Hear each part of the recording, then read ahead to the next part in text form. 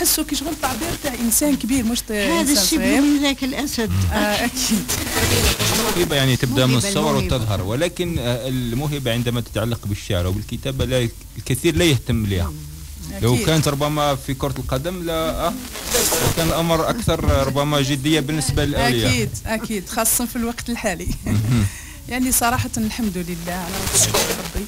ونتمنى هذا ال- الموهبة ما تكونش غير عند بنتي تكون عند أي فتاة وتفرح بها أي أم. نعم. إن شاء الله. لا أنا لاحظت ان أن الأسرة متفتحة.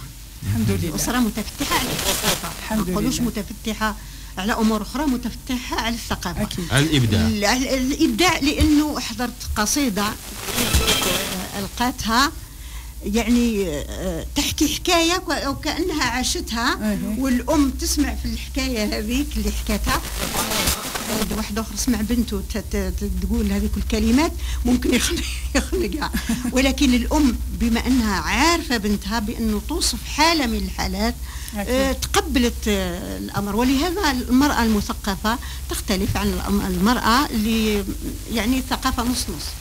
آه، هذه ممكن ما نقدرش ن- نوجه المرأة فقط في مواضيع دون مواضيع. المرأة تتفاعل كل ما يحدث في المجتمع. ليس كذلك سامعني. لكن لو تسمع القصيدة يعني هناك قضايا لم. أعيش لكن هناك قضايا.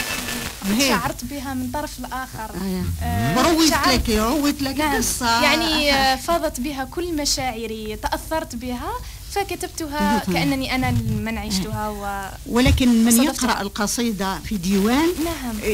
يعني يقول بأن يعني من المؤلفة إيه، نعم. هي اللي عاشت هذه الأحداث هذه. أنا البارح كنت نسمع فيها ونشوف لامك يعني ردة فعلها. لا بالعكس أنا كنت نقول ما شاء الله أسرة يعني متفاهمة. ويمكن الحكاية هذه اللي حكيتيها هي تكون سمعتها قبل فتاة أخرى يعني. نعم. أكيد. خليونا ن- نوليو إلى مجال الشعر دائما. مجال الشعر آه، هل كل ما آه، يكتبه الشاعر يجب أن